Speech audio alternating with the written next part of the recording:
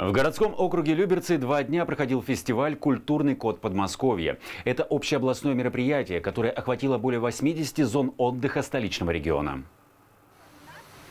В Люберцах местом его проведения стал Центральный парк. Одна из составляющих фестиваля – познавательные лекции о родном крае.